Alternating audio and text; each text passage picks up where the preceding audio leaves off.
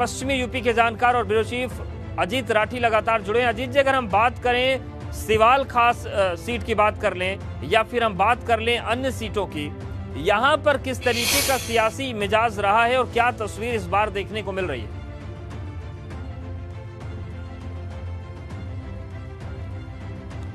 देख देखिए चूँकि गठबंधन जब से हुआ है और गठबंधन जब से अस्तित्व में आया है और इन चुनाव से पहले किसान आंदोलन की जो एक संघर्ष की भूमि थी उस पर जो एक फ़सल उगी उसको बताते हैं लोग कहते हैं कि गठबंधन को उसका सबसे ज़्यादा फ़ायदा मिल रहा है। और गठबंधन में भी जो एक बिरादरी है जाट जो सर्वाधिक जिसने बढ़ चढ़ कर हिस्सा लिया तो गठबंधन के साथ वो है कि नहीं ये सवाल ये उठा हुआ है। सिवाल खास एक ऐसी सीट है जो खांटी लोकदली सीट मानी जाती है लेकिन तमाम बिगड़े हुए समीकरणों के बीच में पिछले दो तीन दफ़ा से वो सीट नहीं जीत पाई।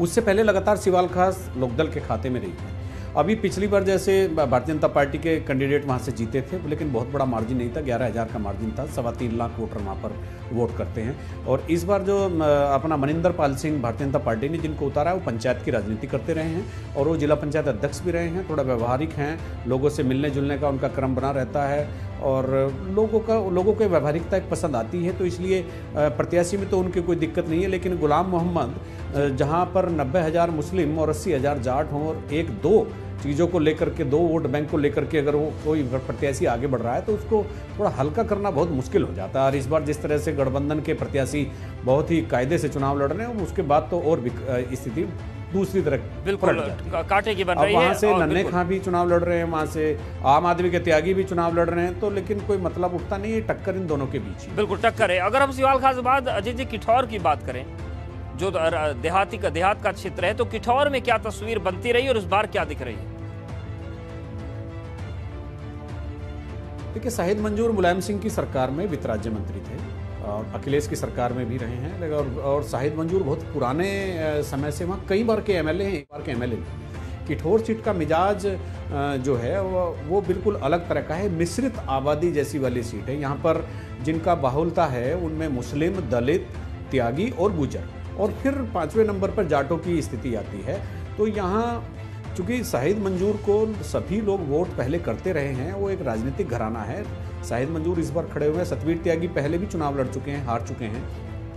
और जितना मार्जिन सतवीर त्यागी का पिछली बार था, प्रचंड लहर में एक बहुत बड़ा बवंडर मचा हुआ था भारतीय जनता पार्टी का।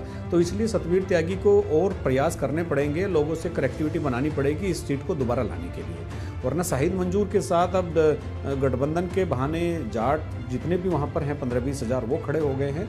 उसका अपना बहुत ही पर्सनल वोट बैंक है। शाहिद मंजूर को हमने बहुत नज़दीक से राजनीति करते देखा है। लोगों के कामकाज में लोगों की पीड़ा में काम आते हैं लोगों के साथ व्यवहार रखते हैं लोगों के ब्याह शादी रस्म तेरवी सब जहाँ दुख सुख जितने भी मौके सामाजिक तौर से सक्रिय रहते एक हैं। अपनी उपलब्धता है वो लोगों के लिए रहती है। जी बिल्कुल। और अगर हम बात करें हस्तिनापुर की चाहे ऐतिहासिक दृष्टिकोण से देखें आध्यात्मिक दृष्टिकोण से देखें, ये सीट ये जगह बड़ी मानी जानी है और इस बार अर्चना गौतम की एंट्री कांग्रेस ने करवाई तो और चर्चाओं में आ गई। हस्तिनापुर में किस तरीके के समीकरण हैं?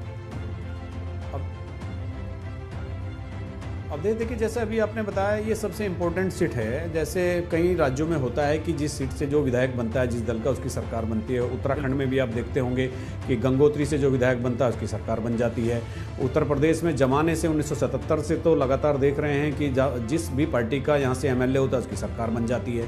दिनेश खटीक के फेवर में जो अभी सीटिंग एमएलए भी हैं, भारतीय जनता पार्टी के, और राज्य मंत्री भी हैं सिंचाई के क्योंकि उनके फेवर में दो तीन चीज़ें वहाँ पर जाती दो तीन चीज़ों में क्या है? एक तो गंगा से लगी हुई सीट है और गंगा के पार बिजनौर जिला है। तो बिजनौर ज़िले में जाने के लिए मेरठ से मवाना से हस्तनापुर से और लोगों को 100 किलोमीटर घूमकर चांदपुर की तरफ़ आना पड़ता था।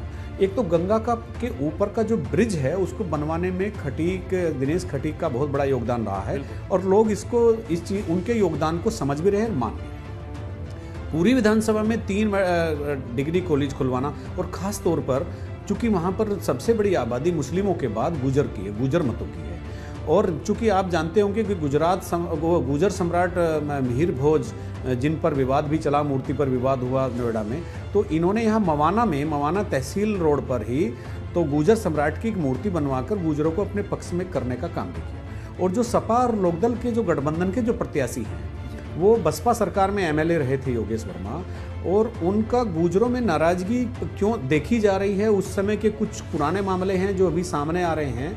तो अब ये देखना है कि जो इनके किए हुए काम हैं दिनेश खटीक के वो इनके काम आते हैं या जो गठबंधन का प्रत्याशी है जो एक बड़ा वोट बैंक लेकर चल रहा है तो वो इनको कितनी देखना होगा कि ये क्या आगे लेकिन फ़िलहाल यहाँ बाकी जो दूसरे वाले प्रत्याशी जी।